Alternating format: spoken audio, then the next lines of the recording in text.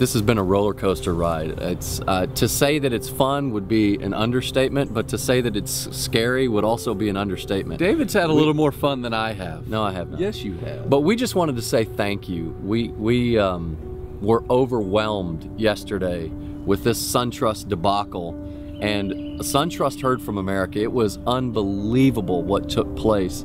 But one thing that we want to encourage Americans is that it's so important right now. There's a fracture in our nation, and religious liberty and freedom to think and freedom to express our beliefs is right now fractured, and our nation needs us. And our message really is to the church. And the Apostle Paul says in the books of, book of Acts, repent and return that times of refreshing may come from the Lord.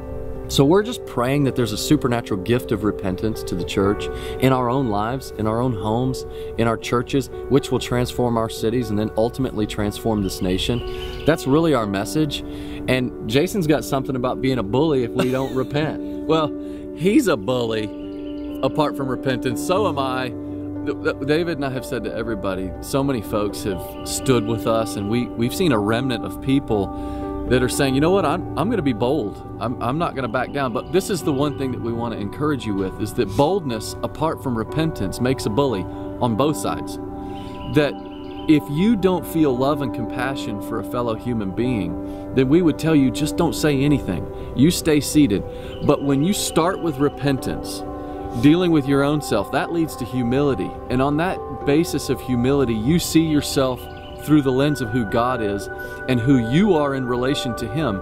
And then that will lead to love for God and love for people. And when that fills your heart, then boldness will be the natural That's when you- outpouring of that. That's and so, when you take a stand. David and I are encouraging everybody start with with repentance, then it migrates to love, and I want to tell you, then you can be bold The lion. and and you'll never back down.